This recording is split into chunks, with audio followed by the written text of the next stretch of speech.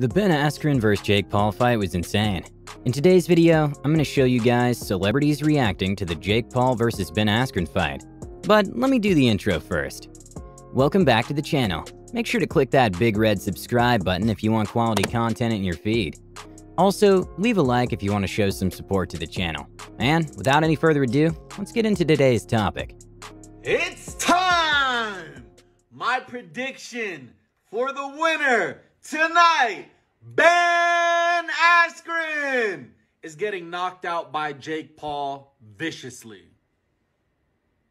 Oh, if that landed a vicious right hook by Jake. Oh! Oh!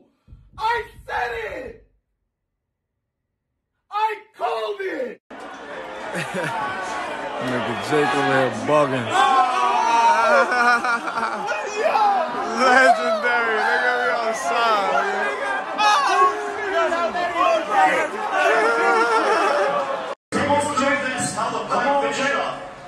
That's ve- nigga. He cracked that nigga, bro. Look how long he's down for, bro. Boom, cracked him. I'm not saying he didn't catch his ass.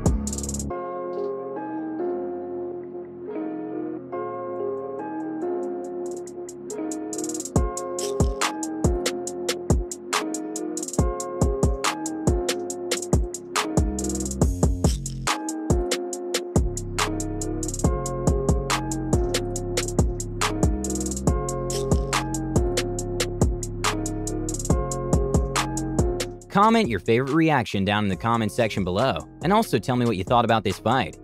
Now, let's talk a little more about the fight.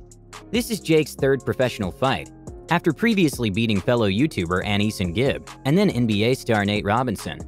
Ben Askren's a retired former UFC fighter who will turn to boxing for the first time on Saturday night. Jake Paul made an official purse of $690,000 for his third career fight. The YouTube personality is coming off a viral knockout of former NBA star Nate Robinson on the undercard of the Triller pay-per-view headlined by Mike Tyson vs. Roy Jones Jr.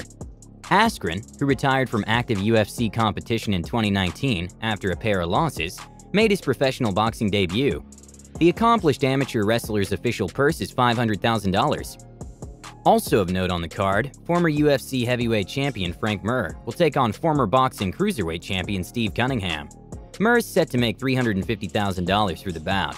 Cunningham's purse is $150,000. Jake Paul is very hated by the public, but he's actually not that bad at boxing.